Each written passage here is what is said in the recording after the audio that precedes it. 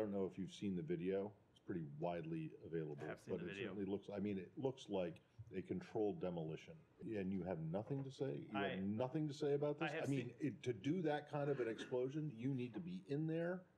You have to put the explosives down, and it takes a lot of planning and preparation to do.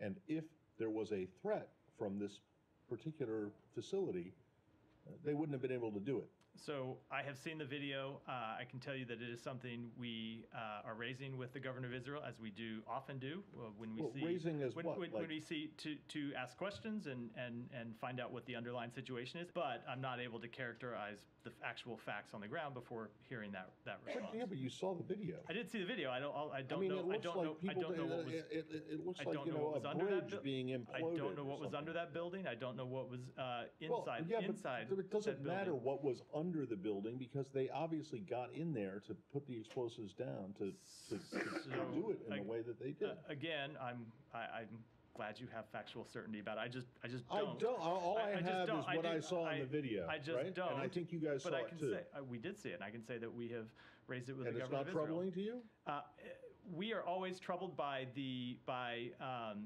uh, any degradation of civilian infrastructure in Gaza, but without knowing the actual underlying circumstances, I'm a little hesitant. I think for reasons that should be understandable to pass.